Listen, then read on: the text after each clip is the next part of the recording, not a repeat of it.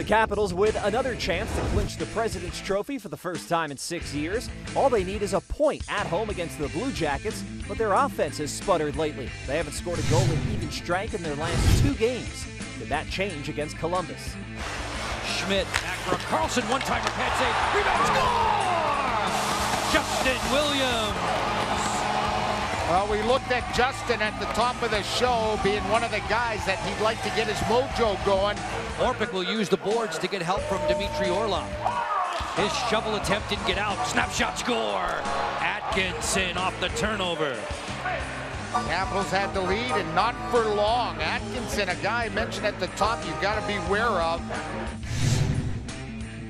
Center with Johansson on the run. Marcus dangles. Between defenders, pad save, rebound loose. Digging for it was Beagle. Morella looks on Mojo with some nifty hands coming through, getting a little bit of lumber. Had this one blocked. Winnik works back through center. Wilson stays on side, a pass to the front stop, rebound, score! Tom Wilson!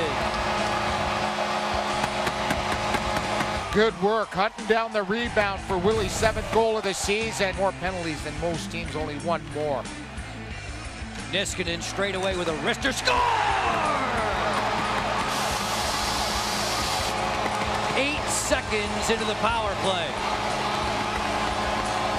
And it looked like a hit a body on the way in, maybe skipped off a pair of pants.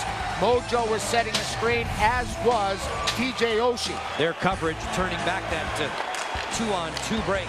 So un underrated is Matt Niskanen. Off the empty net, Backstrom rattles it off the crossbar and down to seal the deal with 2.25 to go. As time ticks away, the Caps are victorious. President's Trophy winners, 4-1 down in Columbus. The Capitals lock up the President's Trophy for the first time since the 2009-2010 season, and they'll have home ice through the Stanley Cup playoffs.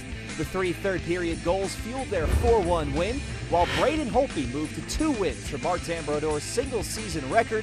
He made 21 saves for his 46th victory of the year.